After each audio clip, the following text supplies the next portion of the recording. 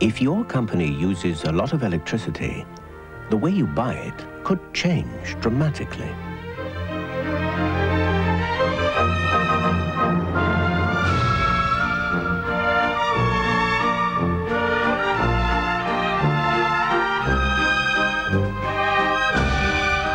As well as buying power from the regional electricity company, you may now be able to buy it direct from a major manufacturer.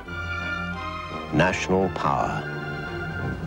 While transmission is the job of the regional electricity company's national grid, National Power actually make more electricity than anyone else in England and Wales. Why not drop in? Mr. Wilcox to see you, sir. Hello. Let's see what we can do about this, shall we? Or let us come to you. National Power, the heart of the country.